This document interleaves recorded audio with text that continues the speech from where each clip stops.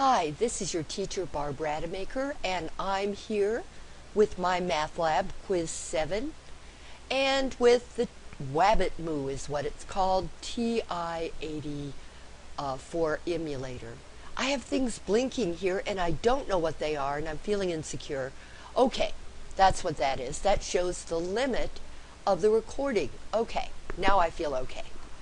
Um, this is my second time using Camtasia and I'm all excited. All right, here we go. Let's look here, intermediate algebra students. Find all the square roots of 81. Well, remember we said in class that every real number, every positive real number, that's an important stipulation. Every positive real number has two square roots a positive square root called the principal square root and the negative square root. Now, it would be a good idea to know that the two square roots of 81 are 9 and negative 9. However, you might not know that. What happens if you don't know? Follow the cursor over here as we go turn the TI-84 on and we clear the screen and I'm going to find the square root, the principal square root of 81 by clicking here on the second key and then coming down to the x square key and clicking on that. That gives me a square root sign. Now I'm going to enter the number 81 and hit enter.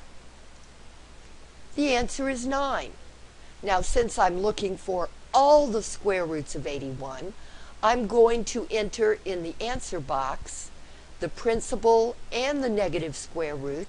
Here we go, 9, comma, negative 9. Okay. Now, if you were to, uh, uh, if you want to convince yourself this is true, 9 times 9, or 9 squared, is 81. So 9 squared, what does that equal? 81. Well, let's make sure about the negative, and we have to include parentheses. Parentheses, negative 9, parentheses closed. Come over to the x squared button, hit x squared to get your little 2. There. Now hit enter, and you also get 81. You have just checked your work. It's a good idea to check your work. And we've convinced ourselves that 9 squared equals 81, so 9 is the, is the principal square root of 81. And the, uh, another square root of 81 is negative 9, which is the negative square root. And when you square that, you also get 81. So, all things considered, I am completely convinced that I entered the right answers in the answer box. Next question. Okay, this you cannot do on your calculator. Um, when you're lucky enough that the index will divide evenly into your uh, exponent, your answer is going to be the base x to the 20 divided by 4 power, or the exponent divided by the index power. All right, let's come over here to the exponent button and click on the exponent button.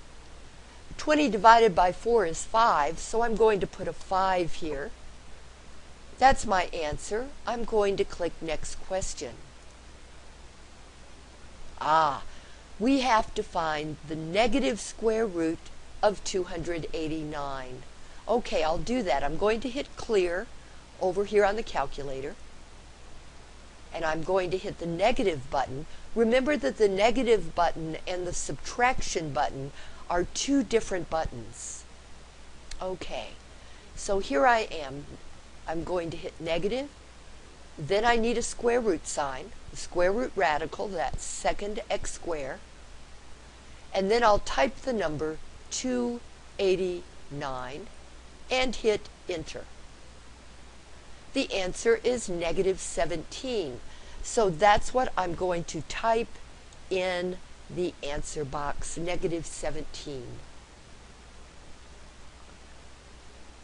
Now I'm going to click on next question. What is the square root of 1? This is the principal square root. Notice there's no negative in front of it. So we're just looking for the positive square root, which is also called the principal square root. I'm going to come over here to the calculator, say second x square, type the number 1, and hit enter. What do you know? 1 is the square root of 1. That's one of the terrific properties of 1, because 1 times 1 is 1. 1 can do all sorts of exciting things, as you'll discover. I'm going to hit next question. Aha! Type everything you see here in the calculator, including the parentheses. I'm going to say second x squared, left parenthesis right here above the 8 key. Now I'll, I'll click on the negative button, 8. I'll close my parentheses with the right parenthesis button over the 9 key. And now I'll type the x square button because that will give me the little exponent 2. And now I'm going to hit enter. The answer is 8. What happened here was the exponent inside multiplied the negative 8 by itself. So what we had was negative 8 multiplied by itself twice. That's negative 8 times negative 8. That's positive 64.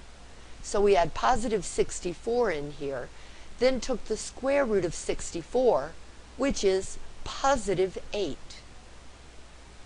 I'd better put in the answer. There. And now I'm going to click Next Question. Okay, both of these are perfect squares. The square root of 36 is 6. The square root of 25 is 5. So actually this is probably easy to do by hand, but if I wanted to do it in the calculator, I would do it this way. I would click on the negative key, and then second x squared would give me the square root radical. Then I would say, what would I say? I would say 36 divided by 25 Notice we're still under the radical. Both of those numbers are under the radical. So it's okay. And then I'm going to hit enter. Oops! I'm not supposed to give a decimal answer. Look at the blueprint. Simplify your answer. Type an integer or a fraction. Doesn't say I can type a decimal.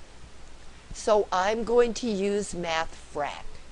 I'm going to click the Math button and frac is already highlighted. Frac means fraction.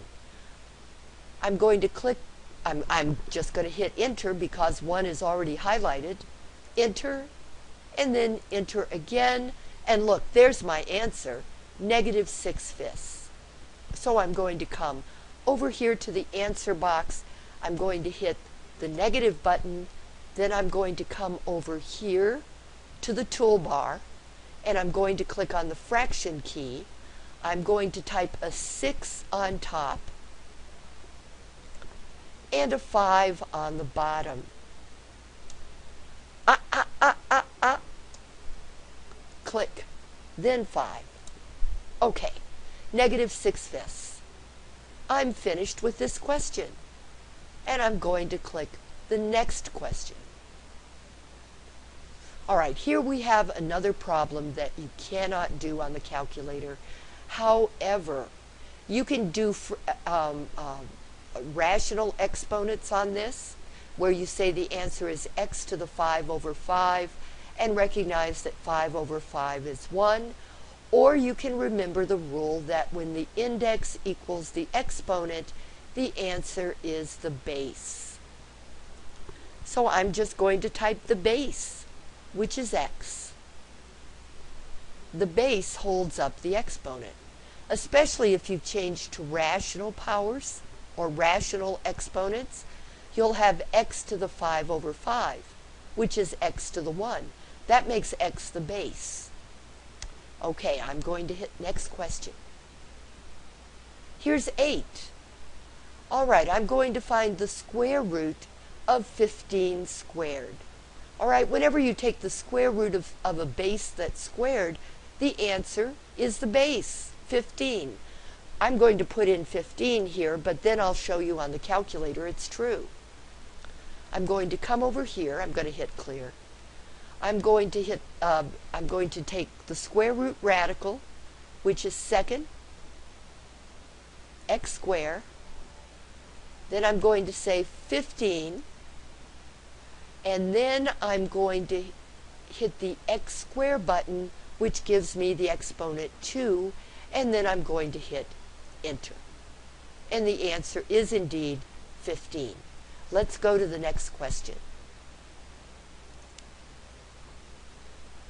We're going to find the square root of 0.16. So again, I'll get the square root radical by hitting second x squared. Then I'll say 0 0.16 and hit enter.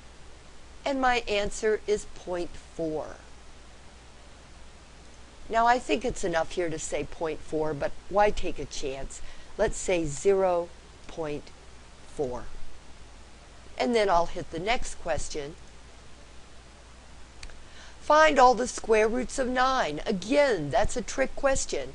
The square root of 9 is 3, but all positive real numbers have two square roots, a principal square root and a negative square root.